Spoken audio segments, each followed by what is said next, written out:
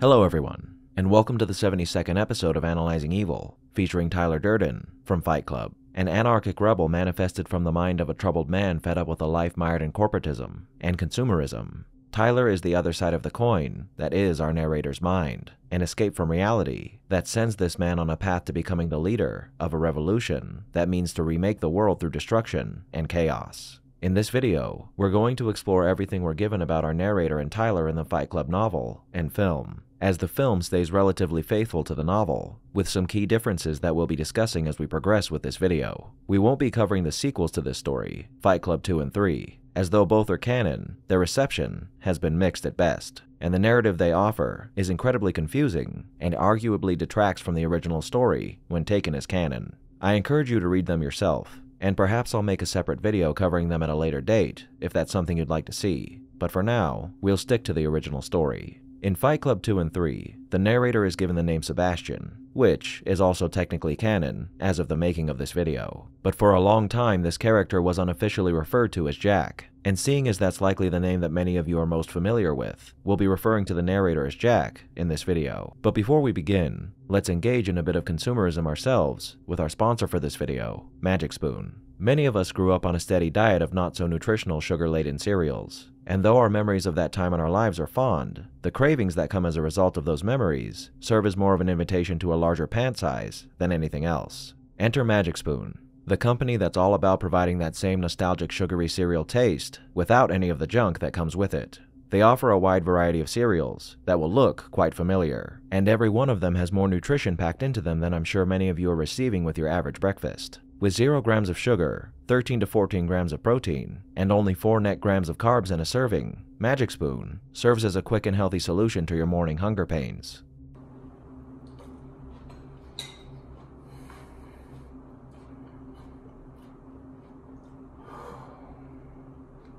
It's uh it's really good. You can try several different flavors of Magic Spoon cereal by purchasing their variety pack to see what fits best for your tastes. And if you use the code VILE at checkout or go to magicspoon.com slash you can enjoy $5 off of your purchase. And Magic Spoon is so confident in their cereals that if you're not 100% satisfied with their product, they'll refund your money, no questions asked. Elevate your breakfast today using the code VILE at checkout when making a purchase at magicspoon.com or by clicking the link in the description. Thank you Magic Spoon for sponsoring this video. Now without further ado, let's begin. We don't know all too much about Jack's backstory. We know that his father left him at a young age, but aside from that, we aren't given too much to go off of. This lack of a father figure is important, and we'll be talking about it more a little later on in this video, but for lack of background, we'll start by taking a look at who Jack is before his other half manifests itself. Jack works for an unknown auto company as a recall coordinator, someone who travels from accident to accident to determine whether or not his company needs to issue a recall for any defects that might be present in their vehicles, or to determine whether the accident can be blamed on forces outside of their control. This line of work is incredibly macabre, as Jack often has to face death and destruction on a gruesome level that few of us ever have to experience directly. This undoubtedly weighs heavily on Jack's psyche, but the part of this job that really affects him is how mundane and corporate the whole thing is. Working day after day to uphold the profits of a company who doesn't care even the slightest for the people involved in these accidents, Jack becomes increasingly disillusioned with the work he's doing, and by extension, the life he's living. Not only is he standing by as people's lives are being reduced to numbers on a sheet of paper, but he's living a meaningless life to boot. One where his happiness comes in surges as he orders yet another piece of cookie cutter furniture from IKEA, furnishing a condo that he has no real connection to, with stuff that serves as just that meaningless stuff that can't fill the void that's growing larger within him as each day passes him by. He flies from city to city chasing morbidity, all the while adding to a condition that has been slowly creeping up on him over time severe insomnia, which is so severe that at the beginning of this story, Jack hasn't slept for six months. Jack's involvement in a line of work that has him traveling to every corner of the United States on a weekly basis has severely impacted his circadian rhythm. Add to that feeling that you have an empty life and a hopeless future, and you have the perfect recipe for a deeply unsatisfied man, one who whittles away the nights by eating junk food and gluing his eyes to late night infomercials. To remedy this problem, Jack attempts to get help from a doctor, but that doctor only tells him that he needs good natural sleep, unaided by any medication, and when Jack remarks that he's suffering, the doctor challenges him to visit a support group for testing testicular cancer so he can understand what true suffering really is. Taking his advice, he heads to this group and finds something quite unexpected the solution to his insomnia. Though there are several factors that play into Jack's insomnia, one of the main things keeping him from sleeping is his inability to express his feelings in a meaningful way. Part of this comes from the fact that Jack seems to have no one close to him in his life. Before coming to these groups, there's not a single person we see Jack interacting with outside of his work environment. He has no friends that we know of, no significant other, and he seems to be far removed from any family that he may have had when he was younger. When Jack comes to these groups, he gains something that he desperately needs genuine human contact. As Jack points out, here, people actually listen to you. They don't just wait to deliver their own part of the conversation. And the affection deprived Jack melts as soon as he's given the opportunity to let go of all his pent up emotions in the embrace of another human. This intimate connection is exactly what Jack needs, and unfortunately, instead of seeing this as a sign that he might need to get out in the world and associate with people on a deeper level, he views it as an addiction that he needs to help him to sleep. However, his lack of human contact doesn't mean that he doesn't desire it, as we can see that he tries to seek out this kind of attachment with his appropriately named single-serving friends. But for whatever reason, Jack seems unable to find permanent friends that he can rely on for longer than a plane flight. So for nearly two years, Jack goes to various support groups to use them for emotional support, and because of that, this period in his life ends up being somewhat normal for Jack. All of that changes when he first sees Marla at one of the groups, as her appearance there forces him to come to terms with the feeling he had been repressing up to this point guilt. Jack had been using these people and their pain to express his own, and now that someone had interfered with his newfound world of emotional freedom, he found himself panicking at the thought of someone revealing to the world that he was sick enough to exploit the pain and death of others for his own benefit, blaming Marla in the process, and calling her a lying tourist, when he himself describes these meetings as his vacation. After Marla's intrusion, Jack is unable to sleep once again, staying up for four days straight before he decides to confront her for encroaching on his action, striking a deal with her that allows both of them to continue coming to these meetings without ever seeing one another. Evidently, this doesn't work very well for Jack. We find him dozing off on several different aerial excursions, with the same dark lines and bags under his eyes that he had when he hadn't slept properly for six months. And now it's time we talk about the condition that's manifested in Jack's psyche due to his severe insomnia, depression, and anxiety dissociative identity disorder, or DID for short. Now, typically, a person develops this disorder due to some kind of trauma or abuse they suffered as a child, and though it would seem that Jack had a poor relationship with his father when he was younger, this disorder doesn't seem to be a result of past experiences, but rather the continued stress his mind is under due to all the issues we've discussed so far. Unbeknownst to Jack, He's been suffering from this disorder for quite some time, and it's quite possible that his insomnia evolved from a nuisance into a severity because of this disorder rather than the opposite, as perhaps his depression, anxiety, and the repression of his feelings resulted in the development of this disorder, and by extension, a deeper dive into insomnia as his alternate personality took hold of half of his life.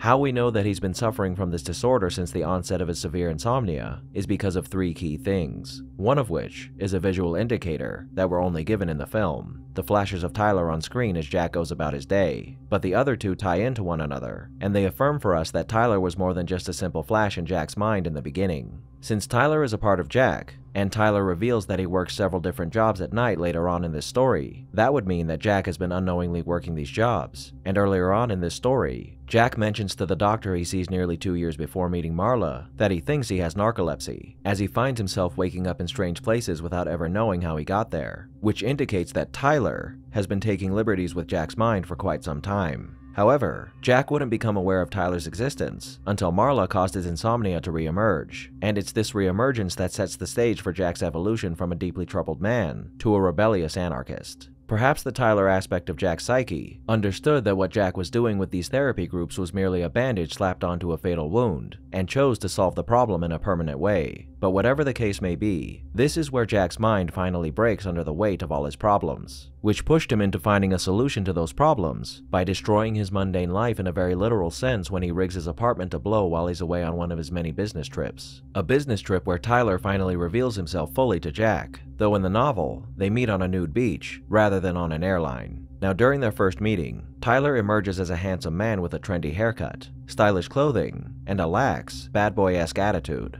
a confident and appealing individual that Jack only wishes he could be. And when this alternate persona takes over, that's exactly who he is. A rebel who doesn't care about the constraints imposed upon him by society, or the mindless, soulless consumerism that's taken hold over everyone's lives. So Jack destroys his quote, near complete life in order to free himself from his pain, and in a way, he succeeds. But in more ways, he just puts yet another bandage on the problem, that new bandage being Fight Club. Fight Club is surely an outlet for these men's pent up emotions, and it accomplishes the same thing as the support groups. It allows these men, who, in their everyday lives, have no one to express themselves to, to let go of their emotions through a barrage of violence. Now, there's nothing wrong with fighting occurring between two consenting adults, but the fighting isn't the problem, it's the emotional bandage it provides. When these men come to Fight Club and duke it out to release their feelings, they aren't solving anything. They're just exploding in that moment and going back to their lives afterwards without doing anything to fix the problems they have, just like Jack was doing with the support groups. This is like self-medicating for any condition. Sure, it helps, but in the long run, you aren't really addressing your problems. You're covering them up and treating yourself in an improper way. Now, all of the actions that Tyler takes on Jack's behalf are done to accomplish one goal, propelling Jack towards rock bottom. This is touched on a bit in the film, but it's mentioned much more frequently in the novel. Tyler tells Jack at various points that he needs to hit bottom in order to remake himself.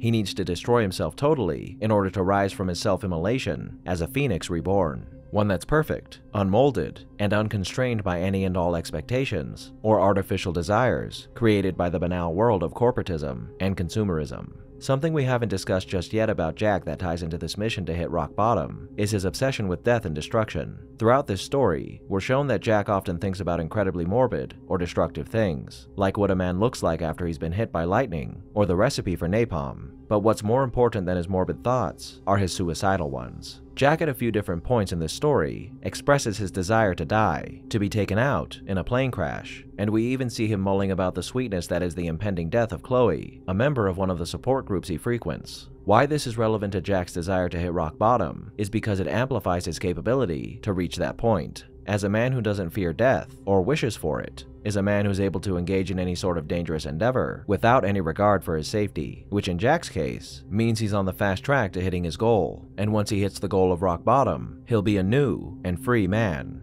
A man who has unlimited potential and no fear, and this makes Jack into an exceedingly terrifying man, as there are few people who have more potential to cause harm in this world than a person with nothing to lose that doesn't care whether they live or die. Now, if Jack simply wanted to destroy himself so he could shape himself into a different person, that wouldn't really be a problem. It's not the greatest idea in the world, but a person can do with themselves what they will. The problem here comes when Jack decides that it's not only himself that he wants to see hit rock bottom, it's the entire world. To quote Jack directly, I wanted to destroy everything beautiful I'd never have, burn the Amazon rainforests, pump toxins straight up to gobble the ozone, open the dump valves on supertankers, and uncap offshore oil wells. I wanted to kill all the fish I couldn't afford to eat, and smother the French beaches I'd never see. And so begins Project Mayhem, the evolution of Fight Club from a half-therapeutic escape from reality into a paramilitary anarchist organization hell-bent on changing the world through destruction. There's nothing wrong with having grievances with society. We all do, and we all should, as the world isn't perfect, and having a desire to change it is, well, how the world changes. But when you mix a noble desire like that with angst, anger, depression, and a death wish, this is what you get. A man who thinks the world is a corrupt and loathsome place, one that deserves a hard reset, so civilization might blossom into something greater. While you could argue that this might be a good thing, what you have to consider here is that Jack is making this decision on behalf of the entire world, without caring what it will cost the untold number of people that his actions will affect. In his dogmatic view of how the world is, and what it should be, he believes that the people will eventually understand that the destruction of the world as they knew it was not only necessary, but a good thing, and they'll be grateful for the world that Jack has created. But that's the problem with this revolution that Jack aspires to create. It's not a popular revolution. It's not a decision made by the majority of a population. It's a decision that's made by Jack and the fanatical men who he's recruited and turned into mirrors of himself. Jack's plan to reset the world by collapsing its financial system might seem like an innocent enough idea at a glance, but the chaos that will ensue as a result of this action will cause untold destruction, rioting, and deaths, all done in order to satisfy his own view of how the world should be, not to mention the many deaths of his compatriots that will occur as they attempt to wage a war against the establishment, a sample of which were given with the death of Robert Paulson. Now, a lot of the actions taken by the members of Project Mayhem in the book and the film are the same. But there's two key differences between the two that totally changes the message of this story and our view of Jack as a harmless revolutionary, those being the fact that in the novel, Jack murders two people himself, and the different endings. In the book, Jack, as Tyler, kills his boss and the mayor's special envoy on recycling, a man who was compiling a list of bars to raid that were hosting fight clubs, which takes the virtuous revolutionary we see in the film and adds the murderer tag to that false moniker. Killing the recycling envoy can be construed as a revolutionary act, as Tyler kills him to keep him from obstructing his schemes. But the murder of his boss was done out of pure spite, and though there's not much justification for killing the envoy, there's none for killing a man whose only crime against Jack was being an annoyance. So it's safe to say that our protagonist isn't the well-intentioned man of the people that we're made to believe he is in the film. Now, as far as the endings are concerned, the events that led up to them are both the same. Jack discovers that Tyler is a part of him after he speaks to Marla about him, and afterwards, he tries to stop the impending plans of Project Mayhem. In the film, when Jack is facing Tyler and decides to shoot himself in order to rid himself of Tyler, it appears that Tyler, instead of disappearing, becomes a part of him as Jack accepts him as a part of himself. After which, he watches his plans come to fruition, with Marla by his side, seemingly signaling that Project Mayhem will continue on with a renewed Jack at its head, with Marla as his consort. However, in the book, the explosives that Tyler rigged the buildings with are revealed to have been made with nitroglycerin and paraffin instead of nitroglycerin and sawdust, a combination that Jack has never had any success with, a subconscious acknowledgement that even his alternate self didn't want his plans to succeed, and instead of assimilating Tyler into himself after shooting himself, Jack falls into a coma, in this coma, he fantasizes that he's in heaven and that the orderlies, nurses, and other staff of the hospital are angels that are catering to him, with Marla calling him occasionally, but he never answers. And the reason he doesn't answer is because sometimes those angels appear as a man with a black eye and a swollen forehead, bringing him his pills and lunch tray, or someone with a broken nose pushing a mop beside his bed, and those men whisper in his ear that everything's going according to plan, civilization will break and be remade anew, and that they look forward to having him back.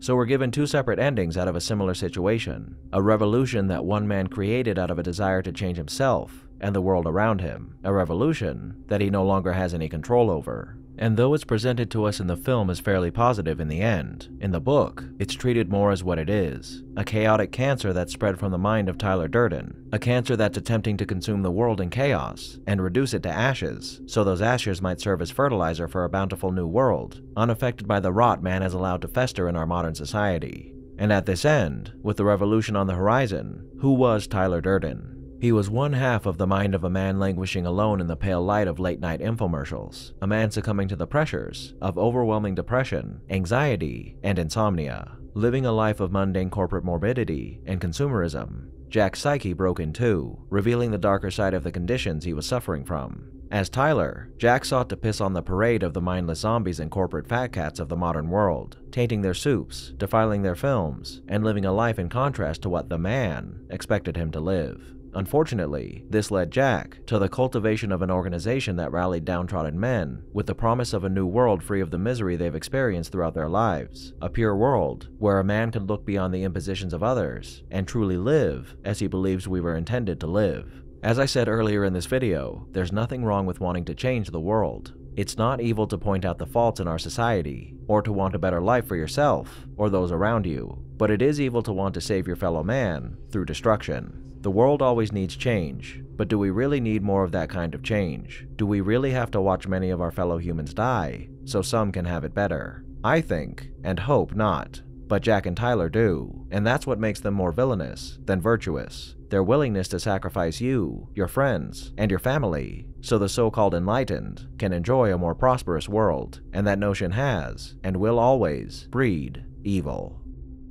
Thank you all for tuning in to this episode of Analyzing Evil, and I hope you've enjoyed. What are your thoughts on Jack and Tyler? Did I miss anything? Let me know down below, and leave a suggestion for a villain you'd like to see featured in a future episode while you're at it. If you like this video, hit that thumbs up button, and make sure to subscribe if you haven't already. A big thank you to all of my subscribers, and to my patrons, and a most vile thank you to those whose names you're seeing on screen now.